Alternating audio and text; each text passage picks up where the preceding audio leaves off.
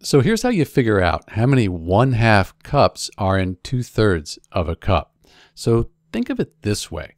We could take here, we have one of two, one part of two. That's our one half.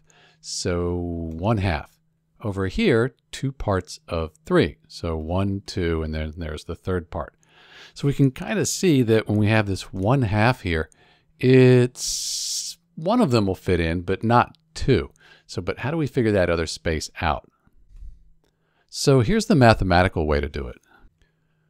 We take our 2 thirds cup and we're trying to see how many times 1 half goes into the 2 thirds. So we're just going to divide by 1 half.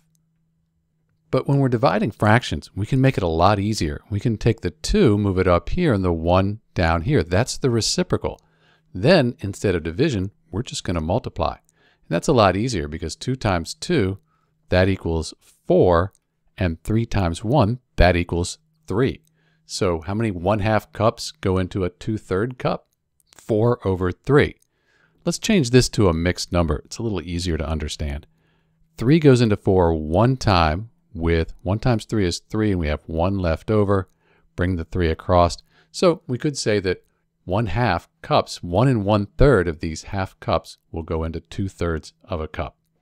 That's it. This is Dr. B. Thanks for watching.